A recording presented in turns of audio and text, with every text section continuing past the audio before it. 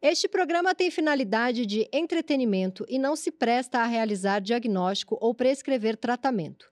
Caso você se identifique com as questões tratadas neste episódio, procure um profissional qualificado.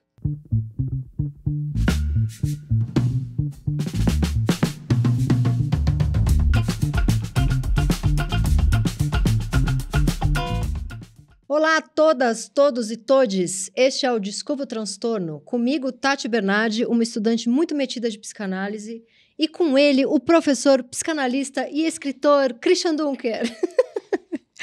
Lembrando que se você tem uma neura, mania ou piração que queira mandar pra gente, o e-mail é desculpaotranstorno@bol.com.br e vamos à cartinha maravilhosa do dia. Um buraco mais embaixo. Oi, Tati e Dunker. Adorei o videocast e queria compartilhar um pouco da minha loucurinha. A minha loucura talvez seja um pouco mais dark do que o que vocês querem, mas hoje aprendi a achar graça. Talvez isso seja um mecanismo de defesa. Levar no bom humor para não preocupar. Risos. Sou mulher e a vida toda só consegui chegar lá a partir da dor. Sim, parece um clichê de mulheres que têm alguns fetiches mazô. Mas acontece que isso sempre me atraiu para caras babacas, porque eu, de fato, só conseguia chegar lá quando eles me tratavam muito mal na cama. E não estou falando de uns tapinhas, o buraco era mais embaixo. Aí conheci o meu atual parceiro, um príncipe que nunca teve coragem de levantar a mão para mim. Maravilhoso em todas as áreas. Tesão na convivência, mas na cama fazia falta este escape. Como resolvi isso até agora? Pedi para ele começar a elogiar outras mulheres enquanto transamos. No começo, ele achou estranho, mas logo pegou o jeito. Eu adoro ouvir ele narrar, sinto ciúmes e me dá prazer. É o mais próximo que posso chegar daquela dorzinha. No fim, achei uma boa saída, porque ele consegue fazer e eu não corro riscos. E aí, se não faz mal, preciso de ajuda? Eu acho que essa é, é uma pessoa que tem uma, tem uma relação cuidadosa consigo. Né? Ela tem uma fantasia. Ela chamar... termina dizendo: ele, eu, eu consigo ter prazer e não corro riscos. Porque ela tinha medo de achar um cara muito babaca que espancasse ela, ou que e estuprasse ela. ela. E ela, e ela diz: arrumei vários babacas. Isso, né? E vamos lembrar que o masoquismo, onde é que ele surge? Né? Enquanto termo, enquanto palavra. Ah, o diagnóstico. Não. Ela surge na literatura. Ah, ela foi eh, popularizada a partir do Leopold Zacher Masoch, que escreveu né, a Vênus das Peles, que era história, uma história que muitos dizem tinha a ver com, com ele. Ele, ele, ele gostava disso. Né? Então tem a Wanda, que era uma mulher super é, assim autoritária, que tinha que usar um chicote, mas era uma mulher contratada para isso. Né? Hum. Que, ele, que ele ia procurando quem é que pode fazer isso, quem é que pode fazer essa montagem comigo. E daí eles tinham um acordo em que ela ia se comportar daquele jeito e ia humilhá-lo, ia bater nela se ela fizesse uma coisa é, é, imaginariamente errada. E, é, no fundo, o que a gente tem são práticas sexuais, né, BDSM, é, que são construídas em consentimento entre as pessoas. Né? Sim. Ou seja. Que é diferente de você encontrar um babaca numa festa e falar, eu gosto de que me bata, e ele te tratar de um jeito. Muito importante isso que você está colocando, Tati. Ter a fantasia, por exemplo, de ser estuprada, de ser batida, é diferente de ser estuprada. Claro. E mais, né? Isso tem, assim, uma relação muito específica com aquela cena, com aquele momento ali na cama. Uhum. O que, que acaba acontecendo? Muitas vezes, como ela mesma diz, né? Eu vou procurar pessoas que são violentas. Porque, ela, porque elas não entendem do que, que eu estou falando. Exato. Porque ela não encontrou alguém é, para fazer parte de um jogo com ela. Uhum, ela encontra uhum. a babaca que leva aquilo talvez para a vida. Depois no restaurante ele continua maltratando ela. Exatamente, né? uhum. né? Que é uma é, um parâmetro, vamos dizer assim, para a gente pensar o registro dos prazeres, né? o uso dos prazeres, como falava Foucault, e a vida social. Né? Como essas duas coisas se relacionam? Né? O banheiro e a vida pública, a Hum. rua. Uhum. A cama e ah, o que você faz no trabalho. Ela não está dizendo que eu quero me livrar de, de, eh, da dor que eu preciso Não. sentir para ter prazer. Ela, tá, ela me parece uma pessoa que está em análise há um tempo. Exato. ela usa termos, mecanismos de defesa. Exato. Ou seja, e o que, que é? Ela foi eh, negociando, foi compondo fantasia, realidade, o outro, até onde eu consigo eh, contar com o outro para entrar na minha fantasia. Foi isso que ela mais ou menos. E era- mas é muito é é interessante. Primeiro, ela usa duas vezes, né? O buraco é mais embaixo. Eu tá achei. ficando. Ó, Tá ficando bom nisso, o hein? buraco é mais embaixo. É Aqui eu, isso aqui. Ela chama o parceiro de um príncipe que nunca teve coragem de levantar a mão para mim. Tá. Só que ela gosta do homem que bate, então o homem perfeito é o que não bate, então eu acho isso também muito estranho. Mas é o príncipe, hein? O que você tem a dizer sobre príncipes? É, é assexuado, ele é hum, É. higiênicozinho, sei lá. Cozinho, não. Higiênicozinho. não. Acho que o príncipe tem que ver com aquele que a gente idealiza, né? O príncipe encantado mas é isso que eu tô- casar. Então, Ele mas- é para casar. Então, mas é isso que eu tô falando. Ela Uhum. idealiza um homem que não bate nela e tem tesão no que bate. Então, o, o ideal dela tá longe do desejo. Ela não precisa ter um ogro ah, violento. eh, Não é isso que ela quer. Não é o pacote completo. Entendi. Ela quer o. Ela só quer que naquela hora a pessoa faça X ou Y Uhum. e eh, tem que ter aquela dor como parte, componente dessa fantasia. Então, ao descobrir isso, né, o que, que aconteceu? Ela foi, eh, vamos dizer assim, analisando a fantasia. Sim. Foi olhando para ela, foi dizendo, olha, com isso eu não, eu não, eu não, vou, eu não vou querer virar outra pessoa.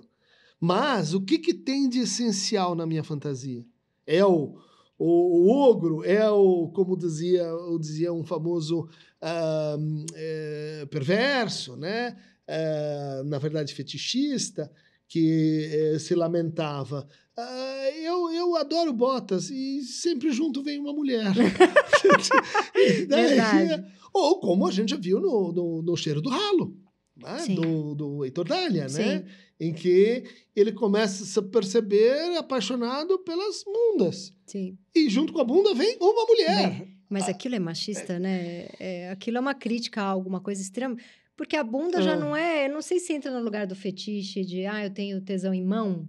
A bunda já entra numa coisa muito brasileira, é a que tem a bunda, o bom da brasileira é a bunda. Entra num lugar muito que é perigoso pro do Brasil. fetiche social, É. né? Mas olha lá, aí, de novo, nós estamos discutindo entre quatro paredes, práticas sexuais e práticas sociais. Uhum. né? práticas em espaço público, práticas invasivas, práticas seletivas, práticas audiovisuais. Você está falando de coisas diferentes e, na verdade, de um grande conflito que acontece entre um plano e um outro plano. né?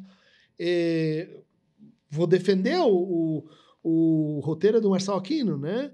E- porque ele descreve um, pelo menos aquele personagem que é um escroto, né, que acaba fetichizando a história da vida dos outros, capitalizando em cima da história da vida dos outros, mas que sofrem. Ele sofre Ele porque ele sofre. só quer a bunda. Uhum. É muito diferente daquela que reduz uma mulher, Mulher a uma bunda. a uma bunda. Uhum. É, claramente assim, ela está sofrendo com aquilo. né? Então, o cafajeste que tá sofrendo, ele é um cafajeste melhorzinho. É. Olha lá, É que- onde é que a gente foi? Né? De, de que léxico, a qual léxico pertence a palavra cafajeste? Moral. Moral. Moral. Ah, mas aí pode? Então vamos patologizar a moral? Agora vale. Por quê? Porque são práticas ah, contundentes, Hum. são práticas que a gente não quer na vida social. Agora, o truque aqui é o seguinte: se a gente consegue olhar para essas práticas sem moralizá-las, a gente consegue ajudar as pessoas a manter isso entre quatro paredes e que não me venha bancar o presidente que quer que todo mundo goste desse jeito, ou o síndico que quer que todo mundo goste do outro jeito, Uhum. ou a mams e o paps e o professor que quer que todo mundo goste X ou Y. Entendi. Porque aí não tem, não tem psicanálise possível, não tem terapia possível. Aí é certo e errado e... É, aí é só um programa de videocast para enfrentar essa massa, né? Que, que é um problema político, é um problema sociológico, um problema que que está nessa tradução.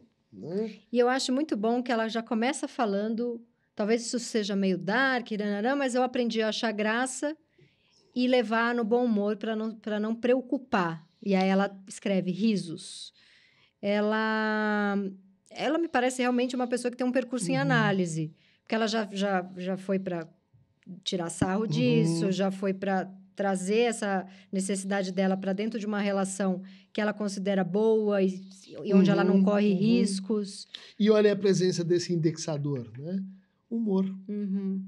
Ah, tem uma definição de análise que eu gosto muito, diz assim: olha, depois de uma análise, você consegue se levar menos, menos a, a sério. sério nos seus sintomas, né?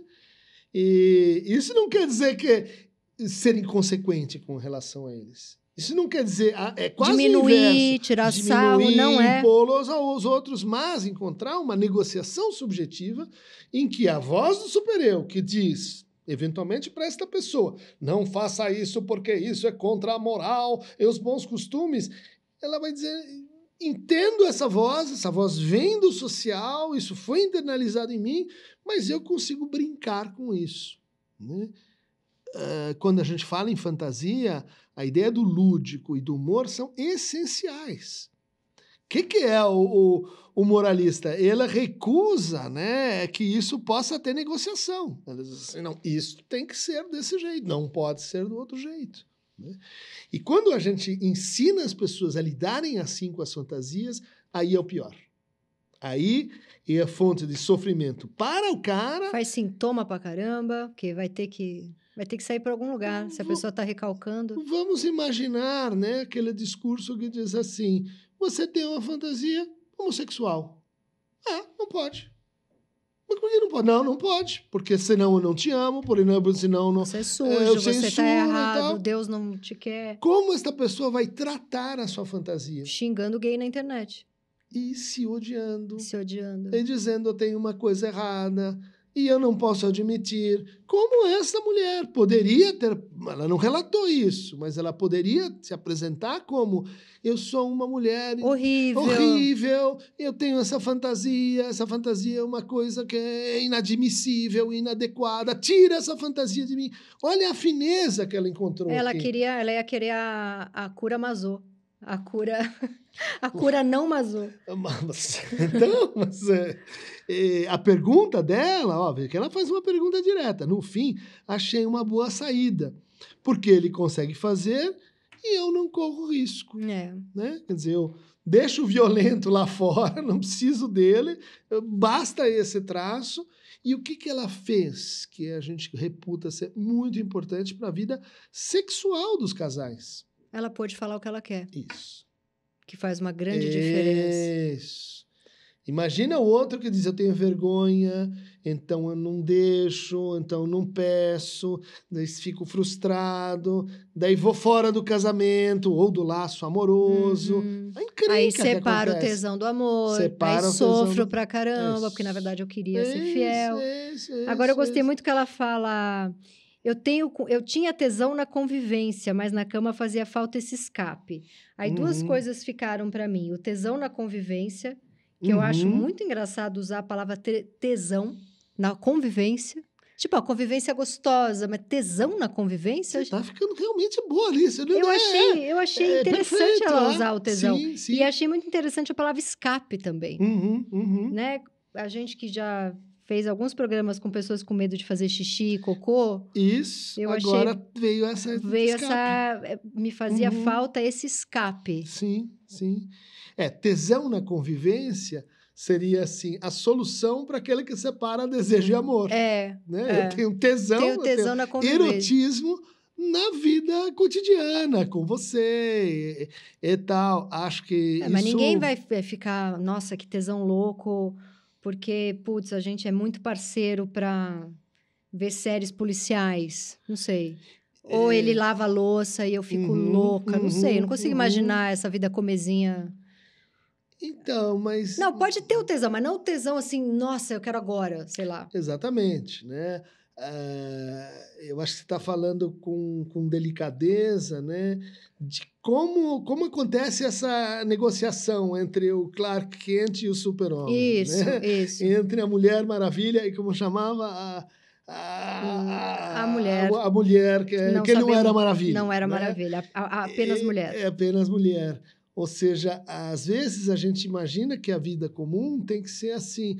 Putz, é- que tesão que eu tenho nessa chá que você me trouxe. Sim, E sim. daí a forma como você abriu. a- Não é bem assim. Você tem modulações do erotismo, né? Que, vamos dizer assim, são um tesão de, é, de, de, de- fundo De fundo. que são um tesão ah, que passa às vezes pelo enigma, às vezes passa pela controvérsia. Né? Uhum. Nossa, Muitos brigar é bom casais- demais. Então, depende Da- do da pessoa. volume da pessoa. Sim, sim, sim. Mas Não, uma certa tensão, Discordar comigo é uma coisa que eu fico o dia Uhum, inteiro ali numa uhum. tensão, né? uma pitada de ódio. Sim, "Ai, é. ela me pegou, tinha razão, o carteiro chegou ontem, não hoje. uma pitada de ciúmes. Sim. Uma pitada, né? Opa, eh, chegou um pouco mais tarde. Eu sei que ela não está me traindo, mas me veio a ideia que Poderia. que, que ela dessa vez, enfim, são pequenas erotizações. eu amo que ela né? começa falando de dor e termina falando de dorzinha.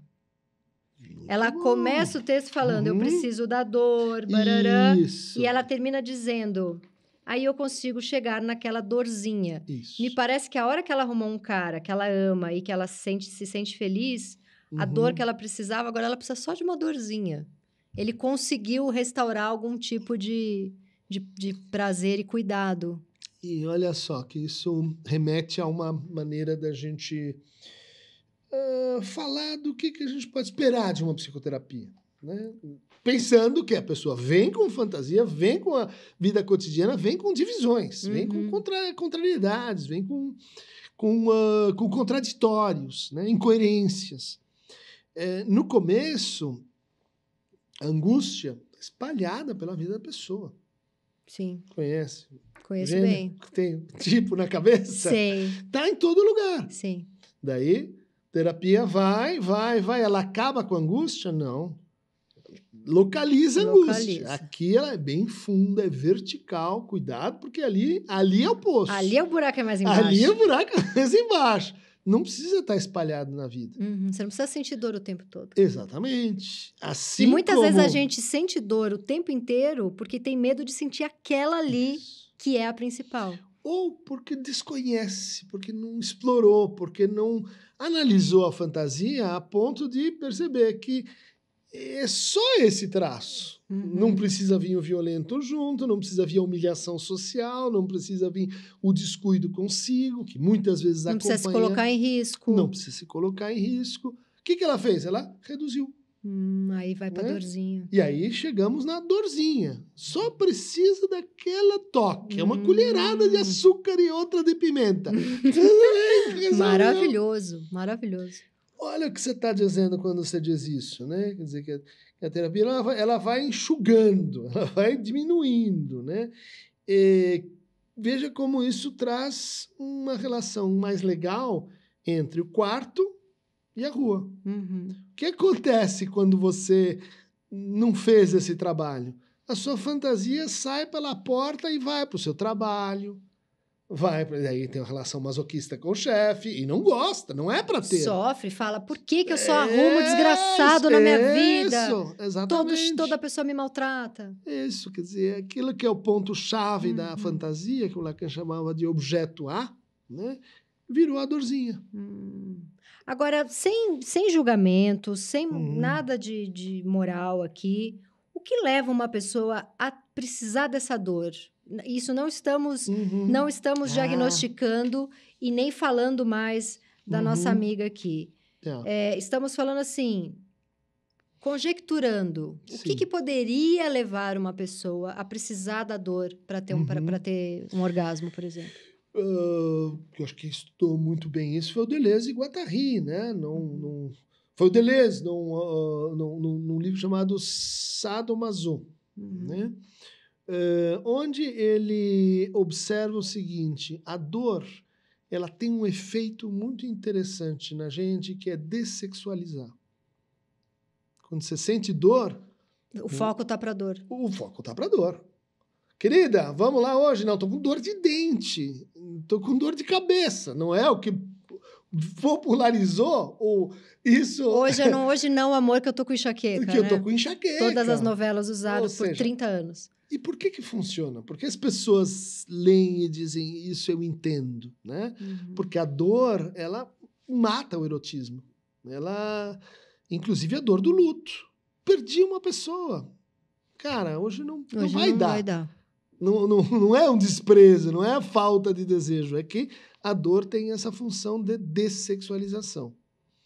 Só que você vai falar, mas ela está falando de uma fantasia sexual. Pois é. O que acontece depois da dessexualização é que a ressexualização se torna mais intensa. Ela vem mais forte. Ela vem mais forte. Hum. Entende? Então, eh, não precisa ser um anatomista para ver que a dor dessexualiza e depois ela chega lá. Hum. Então, às vezes isso tem que ver com assim, dei comida pro superego. Ela ficou mansinho, agora eu posso gozar. Ah. Entendeu? Tem um pedágio que a Eu pessoa é o pedágio, isso é que maravilhoso. você entrega pro outro, É fiz a quase minha um parte. contrato. Então, a sequência é culpa, né? Uhum. Fiz uma coisa errada. Confissão. Falei para o outro. Ah, Disse, me. E depois vem a penitência. Penitência é, então, eu me inflijo Pagar. uma dor, eu me, eu me, eh, eu me imponho uma limitação, né? E o que acontece depois da penitência? Aquele alívio. Aquele alívio, aí vem que Estou limpa, pura, estou angelical. Hum. Agora posso me vestir para matar. Entendi, Agora sai agora na louca, vai que vai. vai que vai, né? Dizer, é, um, é uma forma de você, é uma gramática libidinal. Né? Hum. Então, dessexualiza. Daí a gente vai dizer, puxa, e se essa culpa for eh, assim, demasiada, porque a culpa destrói as pessoas. Vamos lembrar, culpa é um sentimento moral, Moral. junto com o nojo, junto com a vergonha. A culpa com as suas fantasias faz com que as pessoas tenham vidas sexuais pobres, vidas sexuais eh, sem pouca sem, sem, sem pesquisa, vidas sexuais sem aventura, vidas sexuais que te Que não são vidas sexuais, na verdade. É, Você se força ali a fazer um negócio que você nem quer, Isso. muitas vezes. Agora, pergunta: o que acontece com essa pessoa que não leva a sério sua vida sexual? E aí, é a sua vida de prazeres. Passa por alimentação, higiene, passa por tudo. Nossa, ela É? fica Ela fica muito neurótica ou muito, É muito- doente. é, doente, Ela- perdemos, porque não é doença, é transtorno. Ela mas fica é... irritada, odeia tudo, leva o desprazer pra tudo, ela fica. Hum, Ah, tá, ela mas- leva, ela leva o que ela poderia brincar ali Isso, pra sofrer na vida real. Ela leva a vontade de um tapinha do namorado pra levar um esculacho do isso, chefe, por exemplo. Isso, exatamente. É o que o Reich chamou de banana.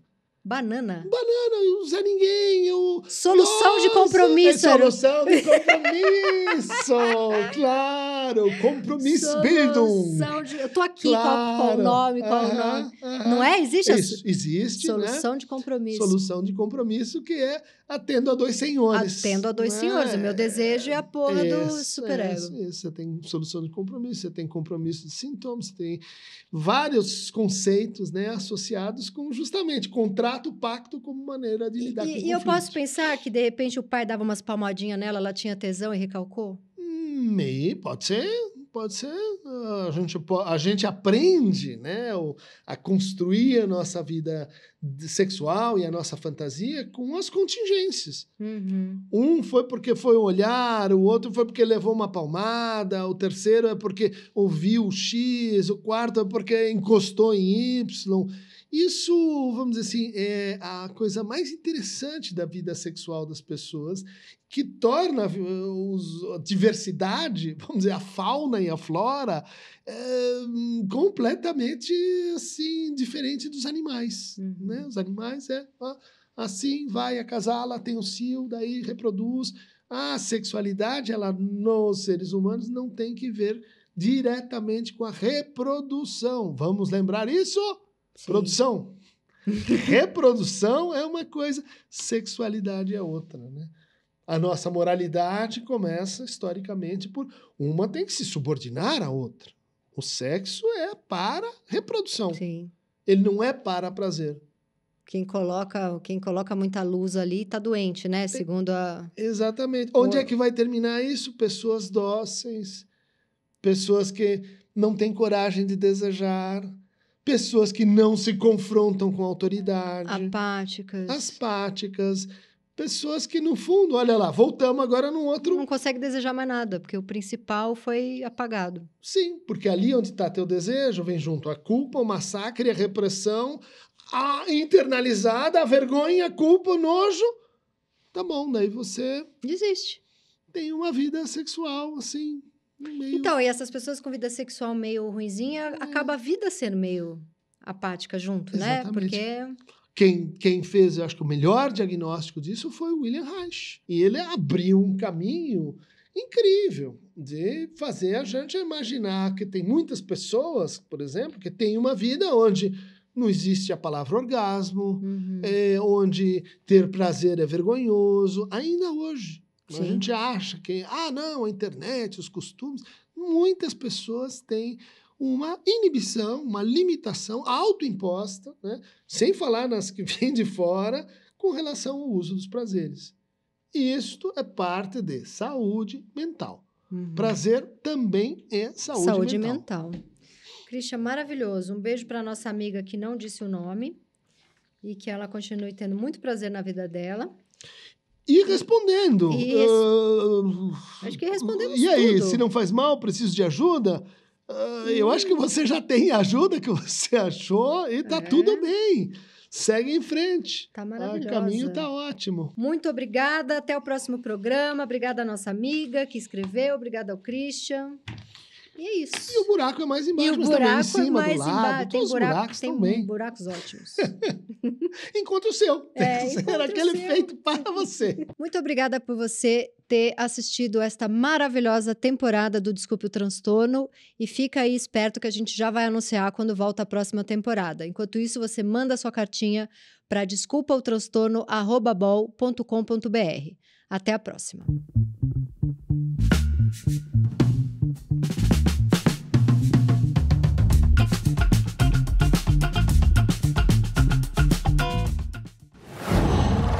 Qual?